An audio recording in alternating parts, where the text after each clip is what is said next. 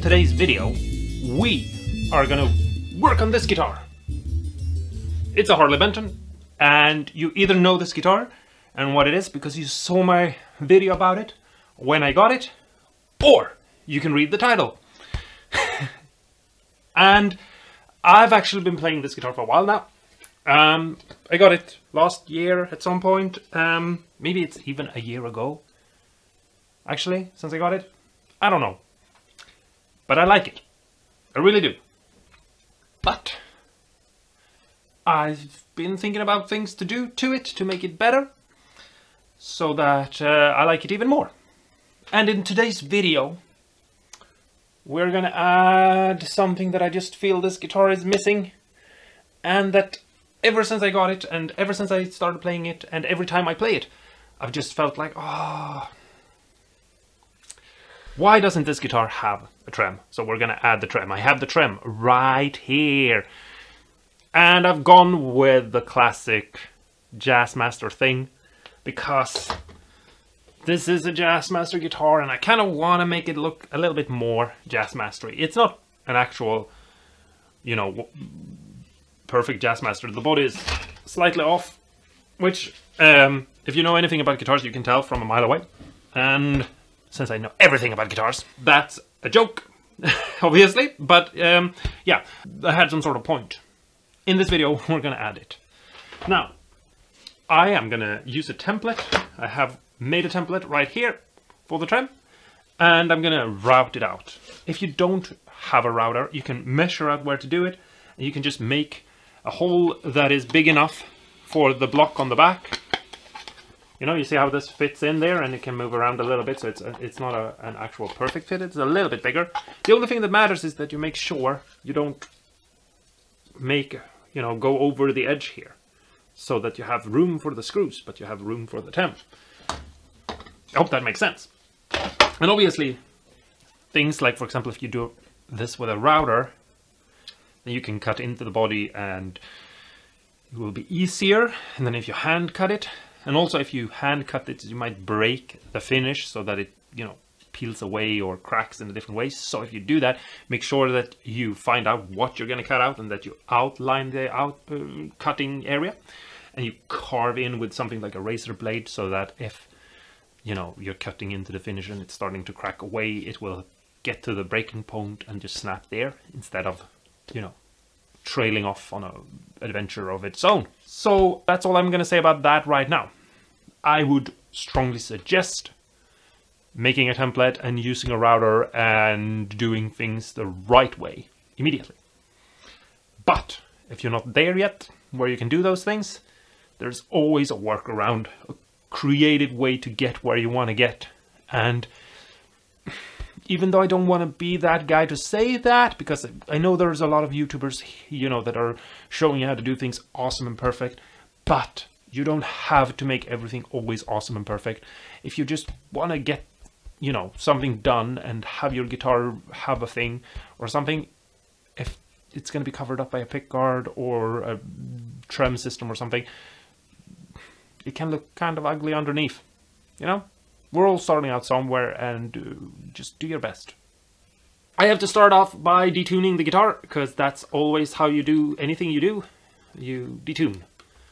Detune the world we live in and find a way back home to your cat. And then we can just take this off it's super easy. Like so. There we have it. And we'll, we'll take these out real quick. They were really dirty. I don't know why. What the hell is this? There's some sort of weird grease in these. That's super strange. It smells weird too. Isn't it fun to take guitars apart? You never know what you're doing or what you're getting or how's it going. And I'm just gonna see, will this trem, for example, cover these up? And obviously I could try to push it up against, but no. There's no point in doing that because they're they're never going to cover that. So, so I removed that one. And I wish I had filmed doing that because I felt like I was He-Man or something, super strong and cool. Because usually these are actually kind of hard to get out, but I managed to get them out without any real issue. So I'm gonna see if I can do the same thing on this one, but most likely it's not gonna be that easy because I'm filming it. So I just grabbed this because you don't want to mess around the finish here because we're not doing a refinish or anything. You you got to be super careful. But I could. Oh, this was even easier. Damn, I'm strong. I can just pull them out. All I did was screw this in a bit and just jank it right up and get it out. And there it is. And now we're best friends or something. First off, before we do anything, we are gonna super quickly just put down some masking tape so that we have something to work with so that we, we can draw lines without messing up the finish because if we draw lines in the wrong place then we can either just cross them out or we can remove the tape and put down more tape which isn't that bad. But if we draw with permanent marker or something on our guitar and we mess up or something and we draw somewhere where we, we shouldn't be drawing then uh, we can definitely get into dangerous places where we'll have to get a new guitar. So, um, yeah, I'm having the bridge on here because I'm to use it to align things, just in case you're wondering. So, I haven't really removed the bridge. I mean, I'm, I'm pulling it aside a little bit right now. So there we go. there we have the bridge, and here we have some tape. And the center line is going to be somewhere around here because that's the middle of the bridge, and that's the strap button right there. So the center line is not going to be here or here. It's going to be roughly somewhere in the middle here, which we're going to try to figure out. But first, just want to sort of um, eyeball where I want to put this. I've looked at some pictures online of these trems and they are sitting somewhere around there. You have a little bit like half a thumb or something from the edge. So I'm gonna I'm gonna go with that.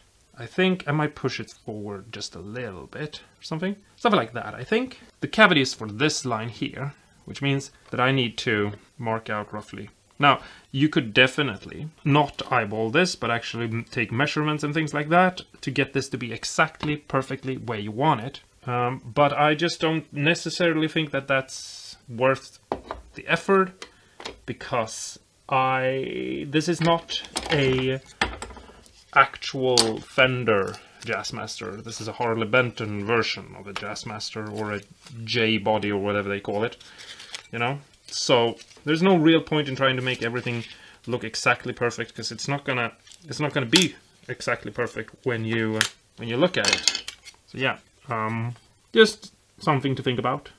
I'm gonna true that line up in a little bit. But first, I'm gonna take some measurements and see where um, where the bridge is. See here, there we have the bridge, which is something. And I'm actually I'm gonna take off the bridge real quick and just go from the inner post thing here instead, I think, and just I'm gonna remeasure everything a bunch of times. So here we are at 15.8.8. Let's divide that, and um, yeah, let's just see if we can if we can make a mark. And obviously I, I didn't make the tape long enough for that. oh, it's so silly of me.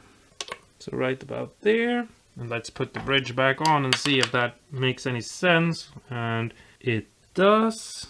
And then let's let's see if we can find the middle of this strap button here as well.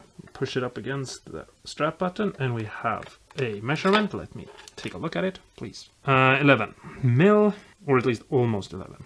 And we will make a mark, and we'll make a mark on the opposite side as well, just to uh, align them. I'm actually gonna just because this is this is not working out for me the way I wanted to. I'm gonna I'm gonna put an extra tape here, just because, of course, the one time that I'm putting down too, too many pieces of tape, I'm putting one exactly in the center line, and I want tape where the center line is. I don't want the avoidance of tape or whatever. Hopefully some of you understand what it is I'm saying. But anyway, so yeah, there it is. Let's see if we can redo everything a little bit just to um, to make sure everything is the way we want it. So I'm gonna I'm gonna measure this out and just do a little bit less of a uh, crappy job. There we have it. And uh, here we have a measurement of. Here we put it to five point. You have to be really, really careful when you're making a center line or drawing out something like this on something that is actually already made. I, I realize some of you are most likely going, ah, you're overdoing it. You don't, you don't have to care that much. Your, your, your guitar is fine. Just, you know. But the truth is, that's not true. You could see if the center line is off by half a mil. And so let's not have it be off by half a mil. I'm gonna remove this strap button so that I can draw out the center line and uh, get it over the curvature of the guitar body. There it is, out. It's going back in because the I'm actually surprised by how good the strap buttons I got with this guitar, uh, how good they actually are. It's gonna be kind of hard for you to see, but just know that it's not hard for me, which is maybe a little bit of a relief to you. I just glued these two pieces together and made sure they were square, but you can use an actual square for this. And I'm sorry if my camera is a little bit blurry. Um, it's not doing what I want it to. Maybe it's time to get a new one. Maybe I shouldn't threaten my camera. So something like that. And then we just continue that line. I'm gonna check it again to make sure it's continuously straight. And then let's put the guitar back in my lap like this. I hope you can see what I'm doing. And I'm just gonna connect these two lines with a ruler on top, like that. And now I'm gonna just take some measurements to see, for example, if I use this, the edge of these holes, for example, that's 46, and this is 45, 6, 7. So, oh, this is gonna be angled, so that's not a real measurement, but I can establish this line, for example, a little bit better using my ruler edge that I have also pre-measured uh, in case anyone wants to know uh, which I did back when I bought it because I make sure that I have tools that I can trust. And now I have the back basically of where I want to put my template. So I'm gonna put it down like this or something I think where is there you are. Let me just take a quick look and see how it's supposed to sit. Yeah this is the this is how it goes. So it will be on the body like this and up against now that won't work obviously because you can see this here is in the way. So I'm quickly gonna cut this part off the template because I'd rather do that than actually have two. so there we have a little bit of wiggle room for the template if I cut it right there and then I can push it in there and the template has lines right here on the inside so it doesn't just have a line across, it also has a line like that. I also have a line like that, but we're not going to use it because I I did that line because I wanted the center of, of the template that way so that I could measure it out that way and uh, really find it. But I'm, I'm eyeballing this a little bit more just because I feel like it's going to be okay. Let's cut this corner off just so we can push it up. Sometimes you'll have to mod your templates and if you have like expensive templates that you uh, have bought then make a template out of the template to have a copy of the template and then you can mod that template and cut that template down to size. That's not hard to do. If you already have the template, you already have the template. You can just keep making it, you know. So just do copies of the template and then modify them and cut them to pieces. But never cut your original template unless you know that you're doing something to it that is always going to be the mod for it.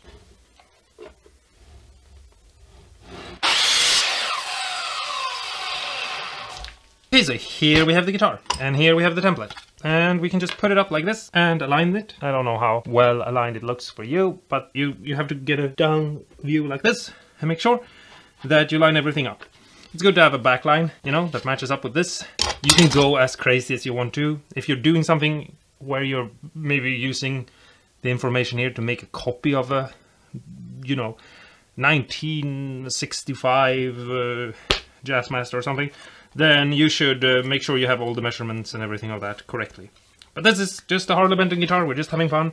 We're just uh, being happy and glad excited about life and stuff like that. So let's not get over boggled down with the details. I'm gonna put it there. That's how it's gonna sit. And first, I'm to put down some double-sided tape and put it everywhere except for on this actual tape here because uh, it's not to do much. I might overlaps a little bit, but it's not that important because this is just tape. But this is then to get placed down here, pressed down. I'm, I'm to put some clamps on as well and clamp this down. And I'm going to clamp it down as good as I can to make sure everything is held firmly. We have these two holes here and we're, we're gonna try to take care of them after. I might just make some sort of like silver plug things to just, you know, boop them in there so that it looks nicer because we don't want to have just holes. But what I'm going to try to do is I'm going to take my router and route all of this out and hog it away. But before I do that, I'm going to take my router and I'm going to go around the edge like this and try to leave as much of the middle. I'm going to try not to cut the middle is what I'm trying to say. And then I'm going to try to see if I can lift that off with a chisel the two first mill or something like that I'll cut and then I'm going to try to see if I can lift this up and make little round plugs to plug these holes. So I'll plug these holes with, with dowels and then on the top of the dowels I'll put in a little bit of a thing that is just the first layer of this, this lacquer thing, as a sort of moving them around. And we'll see what happens and if it works. But first, let's do some routing. Okay, so I've routed out around and I have this tape here piece and yeah, I'm just gonna go around it and just see if I can break it out without destroying it, or at least that's the idea. There we go. There we go. There we go. That's exactly what I wanted. This basswood is like it's more cardboard than wood. Which I know is a comment someone is going to go nagging at me over because it's like cardboard and wood is the same thing, but someone is going to understand what it is I'm trying to say. But anyway, okay, I'm gonna route this out now and do my very best not to go too deep uh, so that I go through the body because that's not good. I'm gonna also first hog out a little bit of wood and that's super easy to do. It's not something that I necessarily need to show you how to do, I think, because I think you all know how to do that. But it's just, you know, drilling into the body like this. So there we go. And now you can see, total mess.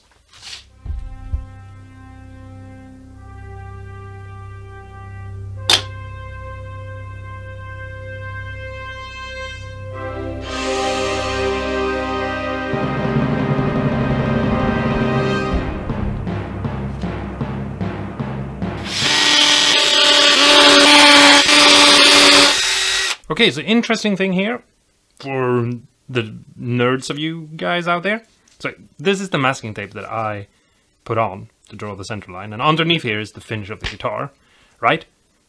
Uh, or at least if I haven't explained things correctly or in a way that makes sense, that's what this is. And here is just, you know, the chunk that I took out. And if I just lift this like this, I got some masking tape like thing here on the underside of the lacquer. Isn't that kind of strange? So, if I lift this masking tape, which maybe I shouldn't do, but I'm going to do it anyway, at least a little bit, I have a piece here that hopefully you can see is the finish of the guitar, but it's also just, you know, a finish on a piece of masking tape. Or tape-like, maybe I should say, because it's not necessarily masking tape. So, I'm going to try to break this free without breaking it from this, because I don't need to actually... I was going to plane this down and make it even and a little bit of wood so I could glue it in. But now, I don't have to do that. I can just, I can just um, try to peel it off. So I'll be back once I figure that out. I've plugged up those holes. I've I thought I pressed record, but I didn't press record, so that's why this is a little bit weird. But I pushed in a bunch of wood glue and I cut a dowel down to the right size, but it's a little, like a mil smaller. So, I, yeah. Sorry, I thought I was recording, but I wasn't recording. Now I'm going to screw down the bridge and leave that glue to dry for a bit. And while that is drying, I'm going to work on trying to cut out little little circles out of this. It's not going to be perfect because it's not going to match up completely because this is from closer to the burst, so it's gonna be a little bit off. But I'm hoping that it's gonna be not as off as just having the holes like this. But we'll see. I might not be able to cut it.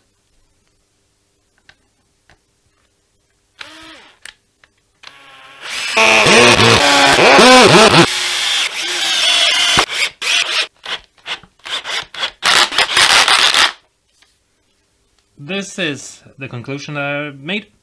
I picked out two pieces and I've put some masking tape on them. Here they are. There's one. And here is one. And it's the best pieces and I don't want to ruin them. I don't want to accidentally, you know, do something that I don't want to do. So the masking tape is there to hopefully hold things together a little bit extra good. What I'm going to do is I'm going to use this washer that I hope you can see, it's right there, as a template.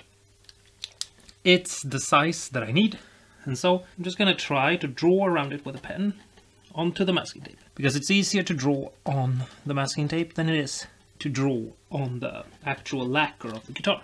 There we have our first template drawn out, and there you are to see it. And the same thing with this one, and then I'm going to take a scissor, and I'm going to see what happens if I cut into this. So I can actually cut into this. So I'm going to try to cut these out with the scissor very slowly and gently, going very slow. Try not to cut too close to the line. I'll leave about a mil, and that's just because I don't want to, I really don't want to have to redo this. I can hear how it is cracking a little bit, so I'm cutting very close in on the scissor. I'm not using the tip for this, because if I do that, I'm going to break it, but if I use the very furthest in of the scissor, hopefully I'll be safe. I'm going to be honest with you, this is something that I've always thought should be very easy to do, and especially on a guitar that most likely has a fake top. So, yeah, but it but it's not something that I've actually done before. Uh, this is a first for me, and I really want to experiment and see if this works, because then that means that you know repair work and finishing work and stuff like that could potentially become really easy. Another way to do this would be to maybe make a, some sort of like, I don't know, uh, photoshopped paper thing that you can just put in and color match in Photoshop. But that would be an experiment I do if this fails, I feel like. So here we have them, and before we remove the tape, I'm just gonna start sanding to the line, the actual line. And I'm gonna go super slowly and uh, just, I'm gonna go up to the line, but not pass it. And then I'm gonna match them up and see if they fit in the holes that I've already made the ones that you've seen on the body. And if I have to, I'll just go back and forth and sand them down until they fit. And I'm to try to hold this square so I get a nice even edge that isn't wobbling or anything like that, but that is a good edge uh, to match up with the drill hole because the other part, the hole that we're filling, that is factory made. And I'm pretty sure that it's a straight hole. As you can see, it this is tedious. So if you're if you're looking at this and you're wondering how will this be for you, then I'm gonna say it's tedious, but it's not that bad. It goes fairly quick. This is very thin, and so you just have to be delicate. I'll be back real soon. Okay, so here they are. And now I just need to take off the masking tape because obviously what we want to do is align the grain. Hopefully you can see that it, it has the grain in it and I know that some of you probably are thinking this is a bit overboard, but if this looks like 90% there, then it's a lot easier than the alternatives that you have, which is, for example, you know, repainting the guitar or trying to match it up with paint. Okay, so here we have the guitar. And first off, I'm just going to try to see which one would be the best you know, I'm not going to plop them in because I'm going to have a hard time getting them getting them out. But I'm going to hold them up and just move them about. And I think this one, up, up, up, damn it. I have something I can poke you with, so get it, get you up. up. There we go. I think maybe, yeah, that, that's to be that. Yes. So we just take some super glue and we just flood the area and we align it and we press it into place and we hold it down try to align the grain as best as you can like so and just hold it there for a second and while I'm holding that down I'm also gonna just flood this one as well. And just plop that in and press it in.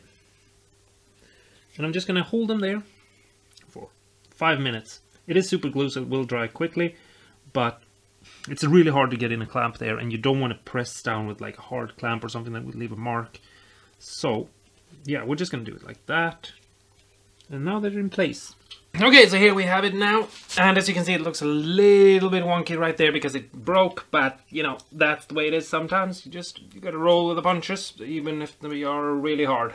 And uh, you don't like it. But I'm just gonna sand this back a little bit to sort of flatten it out and even it out a little bit. So I just have some 1200 grit and a flat piece of wood and I'm just going back and forth like this. Okay, so they're leveled and smooth and you can basically not feel them. And here I have my drill and a little buffing wheel and I'm just gonna just gonna see if I can make the area less dull because it's a little bit dull and I want to see if I can get back some of the shine. And I'll just look at it in the in the light and sort of see, you know, I need a little bit more. Just going back and forth. Okay, so now I can just screw these back in and attach the bridge. And we can put some strings on it as well. Okay, so everything is good. I have the strings on. Everything is the way I'd like it to be, except that you can kind of a little bit see that it's right there. I hung the guitar on the wall. A part of me is like, you know, it's actually pretty good because it looks kind of more vintage. Like doing this and then having a little bit of uh, of a relic going or something could be really cool, I think. But we can also try to just mix together some paint and see if we can do a little bit of a color match, you know, and just get a thing going. And I know I'm being a little bit, maybe a little bit too sloppy right now. Just gonna smudge in a bit of paint right there and trying to get it in there and match everything up. And I'll clean it off uh, the, the excess. Same thing up here, just, you know, get a little bit going and remove the excess. Just um, get that uh, edge to disappear. And once I've uh, gotten it to work the way I want it to, and that's why I have the masking tape here, by the way, which maybe some of you realized. Once I've gotten it to work the way I want it to, and I have a paint a, a color that I like, but um, I don't know if you need to see me sit here and match paint because th there isn't going to be a way for me to do that. Uh, so it benefits you, basically. That's the end of this video. Thanks so much for watching. I'm going to do something a little bit different now, and instead of showing you close-ups, because you can obviously tell where the finished thing that I've done is, I'm going to play a little bit of guitar, show off the whammy, and you can just uh, try to see if you can spot it. Because this is not a perfect way of fixing the guitar, it's something that would uh, be best suited as a repair thing and you would get uh, pretty close. If you want something perfect, you're going to have to refinish the guitar and I'm not going to do that. At least not in this video, maybe down the line if I have some other idea. But anyway, that's another video. I'm going to go play the guitar now for you and I'll see you then uh, over there uh, playing the guitar and try to spot it and see if you can do. Whatever, I don't know what I'm saying. I'm really tired, I need to go. and I still have things to film. So Uh, that's the end of this video. Thanks so much for watching. Until next time, stay awesome and cool and go and install whatever thing you need to install on whatever guitar you have and hopefully it works out. I want to say this might seem like it was a lot of work and really hard, but it was actually super easy and super simple. And so yeah, it might come across as more work than it actually is, but that's because it's two things you have to do. You have to install the actual trem and you have to fill the holes. But for example, filling the holes took it just took a couple of minutes. It was not hard at all. Go do your things and I'm I'm gonna play this guitar that I'm holding right here right now and I'm gonna just go